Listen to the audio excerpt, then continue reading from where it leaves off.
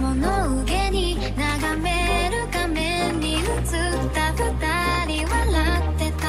知りたくないほど知りすぎてくことただ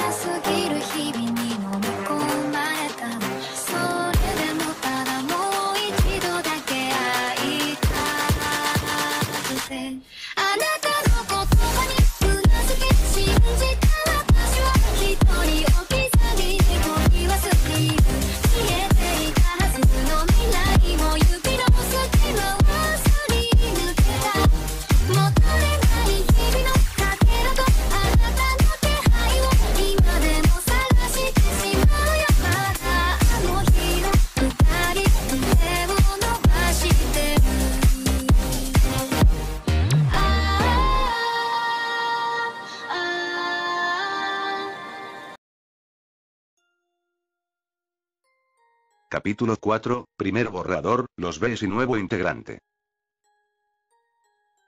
Charlie tenía que continuar con su día luego de una reunión un tanto fallida entre ella, su novia y su socio de negocios. Al final, Charlie ya no podía evitar tener que pedir un poco de la ayuda de su padre, aunque eso tenga que significar que no parará de pensar en las palabras de Adam y pero había cosas que tenía que hacer primero. Ejercicios de confianza, sinceridad y compañerismo, tengo eso ya listo pero ¿y por qué esto es tan difícil de poner en un documento y hacer que parezca profesional? Charlie estaba escribiendo y escribiendo, pero no llegaba a un nivel en donde estuviera satisfecho, las palabras no parecían ser correctas y cuando pensó que había llegado a algo volvía a leerlo y se daba cuenta que parecía más una historia infantil que un documento sobre procedimientos de redención. Ella entendía que era por falta de experiencia porque estrictamente hablando, ella ya sabía cómo realizar el documento. Era la princesa del infierno, su educación obviamente estaba a la altura y que por cierto fue un verdadero infierno.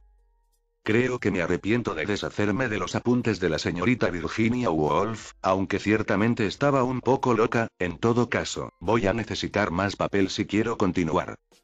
Había papeles hechos bolita alrededor de su escritorio, uno no podía contarlos con la mirada porque algunos formaban una pequeña montaña de ellos y otros estaban ocultos hasta por debajo del sofá. Afortunadamente no había problema por la tinta gracias a un regalo de cumpleaños que había recibido de su padre, una pluma con tinta infinita gracias a un pequeño hechizo que transformaba todo líquido que entraba en la pluma a tinta. Así es muchachos, Charlie hacía todo a papel y pluma, como la vieja escuela. Tenía sus ventajas y sus desventajas, pero a Charlie le parecía agradable poder sentir el papel y la pluma mientras trabajaba. Los ejercicios de rehabilitación no pueden ser suficientes, también debemos concentrarnos en el apartado mental, puramente mental, tal vez sesiones de consultoría conmigo o con Valgie podría funcionar, los otros chicos, las otras opciones eran un sádico caníbal overlord también conocido como el demonio de la radio, un prostituto adicto a las drogas, un gato alcohólico con problemas de humor y una pequeña demonio con serios problemas con los chicos malos. Sí, nosotras nos encargaremos de ellos, pero también es necesario ejercicio constante porque en un cuerpo sano habita un alma pecadora sana y aunque tengo que quitar la parte de pecadora, pero se entiende el punto. Procedimientos, ideas, la ubicación, la infraestructura de su hotel, el personal, todo tuvo que estar detallado en los documentos y excepto la parte del Overlord, pero para eso tendrá que preparar un documento aparte. Todo tenía que estar detallado y bien estructurado, ya no era simplemente una presentación de capitana expectativas como dijo Adam, ella demostraría que podía lograrlo. Siempre y cuando la propuesta todavía está en pie, Charlie todavía creía que esa oportunidad que se le fue otorgada, todavía estaba válida, eso y el extraño apoyo de su novia para continuar eso, la convenció en comenzar ese mismo instante. Al darse cuenta del trabajo con una sonrisa en su rostro, Charlie sintió que podía conseguir una buena presentación ese mismo día. Hasta que escuchó una explosión y siguió a eso sintió todo el edificio temblar. ¿Qué mierda? Salió corriendo de su oficina y bajó las escaleras en un tiempo récord desde el último piso hasta el primero. Lo primero que notó fue la falta de presencia de sus residentes, lo que llevó a un pequeño ataque a su corazón pensando en el peor escenario posible, hasta que escuchó un gran ruido afuera. Alastor se encontraba acompañado de Valgie y estaban viendo como un portal conectado a quien sabe dónde comenzaba a devorar un cepelín con la ayuda de unos tentáculos que salen del mismo portal. Punto punto punto las palabras no pudieron salir de Charlie. Jajaja y jajajajaja tampoco ayudaba la risa histérica que estaba sufriendo, no, la risa histérica que estaba disfrutando el demonio de la radio. Bien, ahora sí podía reaccionar. Alastor, ¿qué carajos? El único causante de ese desastre tenía que ser el demonio de la radio, no había necesidad de tener mucha inteligencia para saberlo. Gran forma de iniciar un día. Influencer, diseñadora de moda, overlord y miembro de un grupo jodidamente poderoso e influyente como eran los Bs, VVV, cada uno de sus movimientos generaba una respuesta de un gran porcentaje de los pecadores del infierno. A Belvete solo le importaba estar siempre arriba. Tenía suficiente inteligencia para saber qué movimiento era el correcto para seguir escalando en la tierra de nadie como era el infierno y había conseguido el lugar que le pertenecía y en parte. Esta mierda y no me la merezco su mano estaba en su cabeza intentando, inútilmente, hacer bajar el dolor de cabeza. La puta nunca me hace jodido caso, cuando vuelva juro que su culo nunca volverá a cerrarse, que intente rezar por su culo roto. Un Valentino furioso solo podía ser calmado por una sola persona, persona que ahora estaba ocupada inventando una empresa estúpida sobre protección contra exterminios. ¡Qué jodida broma! Valentino, vete a la mierda y deja de jode. Fue su último intento antes de ir a traer el culo del tonto televisor antes de ser interrumpido por el brazo descuartizado de una de sus modelos más sexys. Siquiera pueden imaginar lo difícil que es tener un buen modelo sin que el maricón de Valentino se lo robara para convertirlo en estrella porno. Belvete se acercó con pasos lentos al proxeneta iracundo, pateó con fuerza sus piernas y lo echó al suelo, eso permitió que estuvieran en un nivel parejo. Valentino miró furioso a la influencer pero esta lo cayó cuando lo agarró del cuello de su ropa. Ropa que fue diseñada por ella. Estás jodidamente muerto si no te largas en este mismo instante con la puta caja de tu novio, vea que te den por el culo si quieres pero no y me jodas. Abrió por la fuerza un portal al dominio de la caja ruidosa y lanzó a Valentino ahí adentro. Al fin paz. Belvete cerró el portal y lanzó un suspiro de alivio, se giró a ver a una de sus chicas y las que mejor se escondieron y las pocas que sobrevivieron.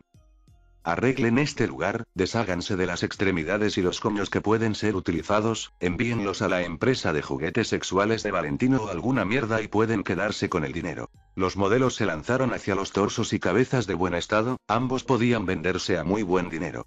No era algo común tener esas oportunidades. Dinero que nunca viene mal para hacer un extra. Quien me moleste en mi oficina tendrá el mismo destino. Belvete se giró pero una de sus esclavas la interrumpió. Señorita, Miri ya murió cuatro veces, puede que tarde en volver a aparecer y era la mejor modelo, ¿qué hacemos? Los demonios solo podrían morir por las armas angelicales, morir verdaderamente. Desaparecer, dejar de existir, Puffy hay muchas maneras de decirlo pero no hay necesidad de entrar en detalles. Los Overlord podrían tener mucho poder, pero solo podrían retrasar el tiempo de aparición antes de que los muertos volvieran al infierno, pero lo que sí podrían hacer es tener el control total del alma, da igual cuántas veces murieran, si tenían un contrato con un Overlord, no hay forma de huir de ello, pero cuando un pecador de bajo rango mataba a otro no había esa clase de repercusiones con el tiempo de aparición, el único punto importante es la velocidad en la que vuelve a morir si influye en el tiempo que se tarda el alma en volver a su forma y reaparecer. Por eso el círculo del infierno tenía problemas con la sobrepoblación. Da igual, volverá en algún momento, utiliza por el momento a quien sigue vivo. Tenemos a Paula. Ni hablar, su culo gordo y caída tetas ya pasaron de moda, véndela como muñeca sexual de algún cerdo de allí afuera y ¿dónde está Emma? El señor Valentino se la llevó hace dos semanas, señorita la secretaría todavía grababa verla en uno de los vídeos del compañero Overlord de su ama, estaba en un en vivo con temática de violación que duró una semana y media. La mente de Emma no quedó igual luego de eso. Puta mierda y quién mierda nos queda? ¿Qué le parece Melissa? Tengo que conseguir más perras y la usaremos por ahora, para cuando vuelva espero y tengan algo decente que ver. Belvete salió del lugar, pasó rápidamente por un pasillo largo y entró en la habitación final.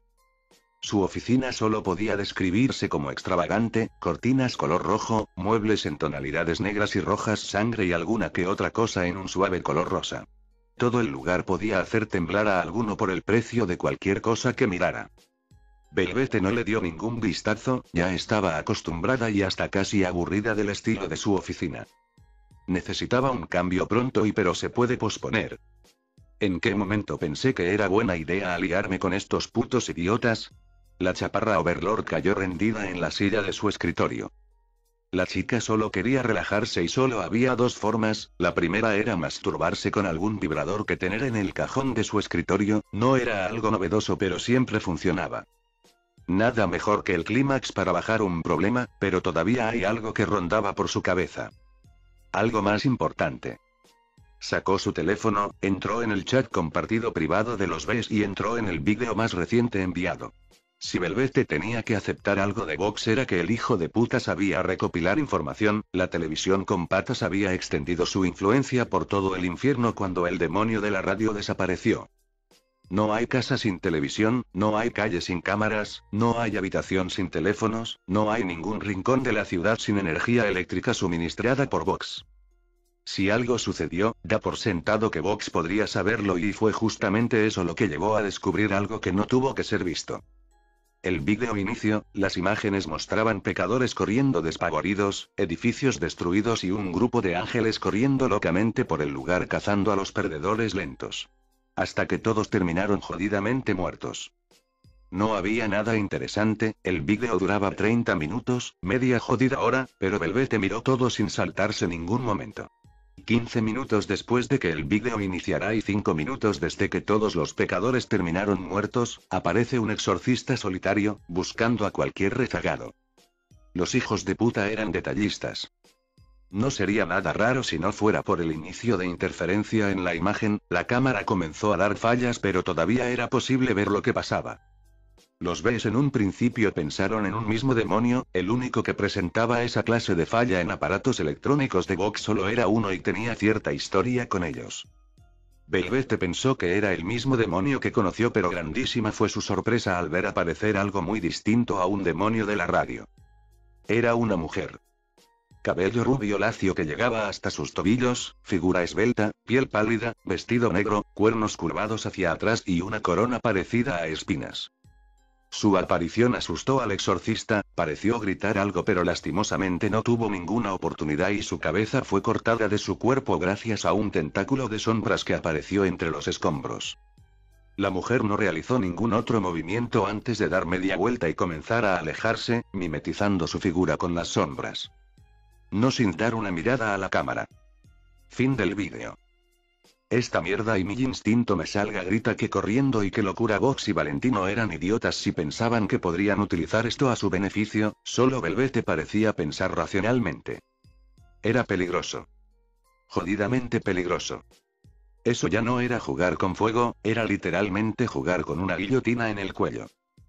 Valentino había recuperado el cuerpo él mismo, Vox se encargó de mantener fresco y como si no fuera necesario, le entregaron la cabeza a ella. ¿Qué se supone que haga con eso?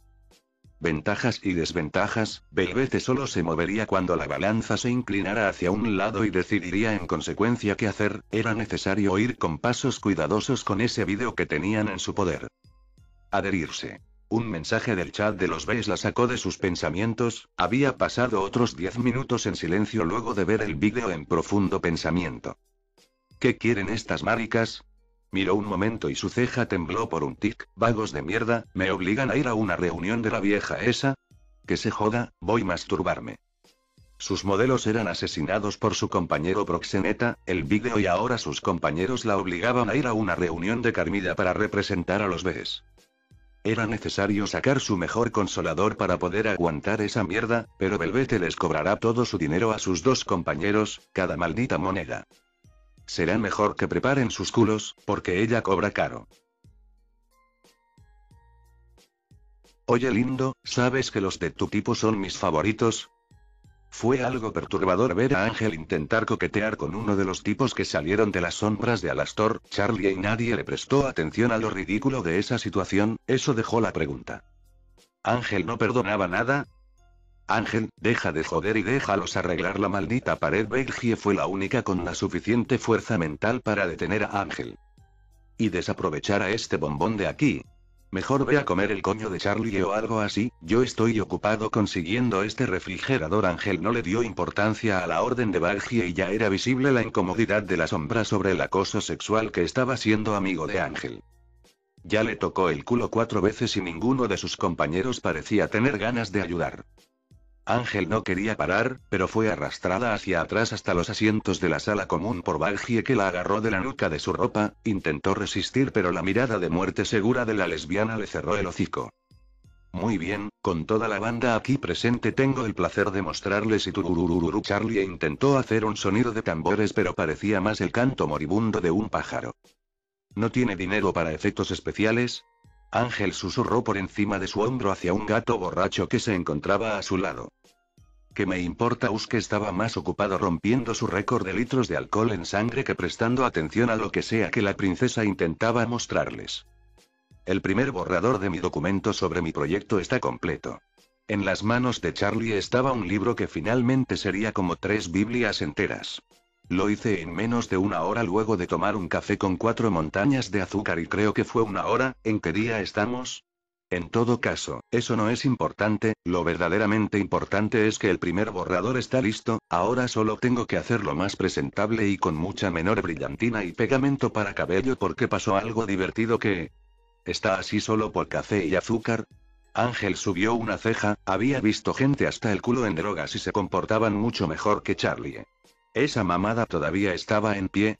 El exterminio se adelantó, tiene que significar que todo tuvo que ser una broma jodida o algo así. No lo creo, Baggie negó rápidamente, simplemente dejó que Charlie siguiera hablando sola sobre su primer borrador y el pegamento de cabello para intentar exponer su punto es el cielo, puede que un pecador pueda mentir y todo eso, pero piénsalo un segundo, ¿el cielo permitiría que alguien mintiera?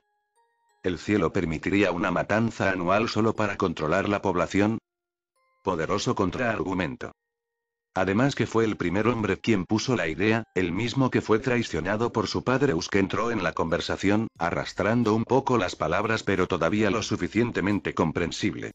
Apuntó a Charlie para mostrar su punto el difícil de creer que el tipo pudiera perdonar a maldito Lucifer. Los pecados de los padres no repercuten en sus niños y estamos trabajando bajo esa consigna, tontos, un poco de fe para eso. Era difícil contraargumentar contra eso sin dejar escapar algo que no quería, Baggie no estaba acostumbrada al debate, siempre perdía, ella era más de seguir órdenes y planos detallados. Tenía que sacar su interior de Charlie para intentar convencerlos.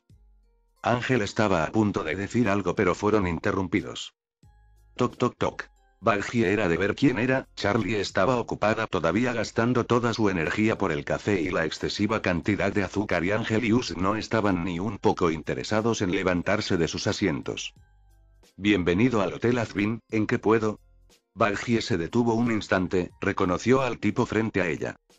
Saludos, estoy, un puño aterrizó directo a su rostro serpentino y lo envió al suelo. Espera, vengo en son de paz, ah. Jódete, atacaste el hotel hace solo un día, prepárate para una golpiza. En realidad no había pasado tanto tiempo pero nadie en el infierno se enteraba del paso del tiempo al no haber noche o día. El grito de Baggie llamó la atención del grupo dentro del hotel y se acercaron un poco para ver qué sucedía y vieron a Baggie apuntando con su lanza a un pecador serpiente que estaba en el suelo haciendo signo de paz. Baggie, espera. Charlie detuvo a su novia antes de que la lanza atraviese el pobre trasero de la serpiente, afortunadamente la situación bajó un poco su estado energético dando paso a su actitud habitual. Princesa, no vengo con malas intenciones, el pecador no tenía piernas pero de igual forma tomó una postura que le hacía parecer arrodillado. He oído que ayuda a las personas para volverlas mejores y personas y vine justamente por eso. Los ojos de Charlie se dilataron y casi se salieron de sus cuencas, no esperaba que algo así sucediera y ni siquiera tuvieron que rogarle para que pasara, aspiró aire como una aspiradora y se acercó con una sonrisa a la serpiente. No era extraño que Baggie no estuviera de acuerdo. Espera, amor, Baggie intentó detenerlos pero alguien más se tomó de ello. Espera un momento, chica ingenua, ¿dejarás entrar al tipo que atacó el hotel hace unas horas? Tienes que estar bromeando, definitivamente no lo quiero dentro, tenemos suficientes con señor sonrisas y los otros inadaptados. Puf, no te preocupes Ángel, en momentos como estos tenemos que dejar de lado los prejuicios que tenemos y aceptar a alguien que por cuenta propia visitó el hotel, recuerda que tenemos que darle a los pecadores su segunda oportunidad. ¿Dejarías que este tipo entre? Ángel desistió en sus esfuerzos con Charlie y cambió a alguien que tenía sus mismos pensamientos, dirigiéndose a su pregunta a la novia de la princesa. Se supone que estás encargada de la seguridad o una mierda así, ¿no? Se suponía que Baggy estaba de acuerdo, pero Charlie se giró para verla y utilizó su ataque más poderoso, una debilidad que solo Charlie sabía. Ojos de cachorro esperanzado. La batalla no había comenzado pero Baggy ya había perdido. Bien, tú ganas, parece que no representa mucho peligro si no cuenta con su dirigible de guerra. Baggy lo miró un momento, no tenía el aspecto de tener algún poder como Alastor o similar por el cuerpo enclenque que tenía, incluso si su sonrisa era diabólica o inclusive con su dirigible. Eso borró la sonrisa y se ganó una mirada indignada del serpentino pecador. Gracias Baggy. Gracias, gracias, gracias. Charlie casi aplasta la columna de su novia por la fuerza del abrazo que le dio, repitiendo rápidamente un agradecimiento antes de detenerse y dirigirse al nuevo integrante del hotel. Te vas a arrepentir de esto. Ángel cruzó los brazos debajo de su pelaje en forma de gusto. Lo sé y ya lo hago contigo. Ambos siguieron al pecador llamado Sirpentius y Charlie dentro del hotel, les esperaban una tarde muy, muy larga, más aún que parecía que la energía de Charlie volvió a aumentar. Ángel y Baggy estaban en desacuerdo con su llegada, cada una con distintos motivos. Ángel por el prejuicio del ataque de hace poco al hotel, sabía que lo había hecho para atacar a Alastor, lo que sonaba estúpido y muy soberbio, pero también dudaba que esos ataques no volvieran a suceder solo que ya no de afuera para adentro sino desde el mismo interior. Baggy era por una razón más profunda, ella fue la primera que salió a confrontar el peligro y fue seguida muy de cerca por Alastor, quien terminó por encargarse del asunto, pero eso mismo le dio la oportunidad de ver el dirigible de guerra de la serpiente. Esa no era tecnología común. Esos rayos láser no eran como los que comúnmente son vistos por el cúmulo de energía plasma, el color era distinto y además que parecía tener masa, la explosión final del dirigible fue también demasiado grande, dañando duramente los tentáculos del portal de Alastor. Esa tecnología parecía muy similar a una con la que estaba acostumbrada. Después de todo fue equipado en algún momento con ella. Era la tecnología del cielo, más específicamente, tecnología desarrollada por una psicópata importante del cielo. Eva.